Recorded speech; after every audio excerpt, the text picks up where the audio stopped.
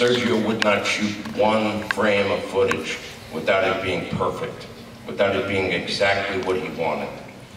There, there have been other directors that have been like that, that I've worked with, you know, from John Frankenheimer, you know, Warren, who we already mentioned, you know, people who are, you know, perfectionists. But, but the most important thing is, is a sense of passion, of, you know, to do film.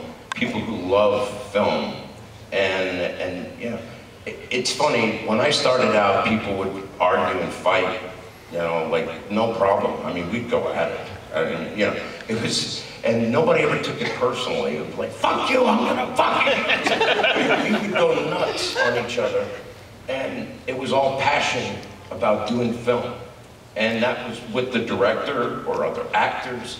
And it was all, you know, now we, we live in kind of a more of a laid back era when, it comes to those things. A friend of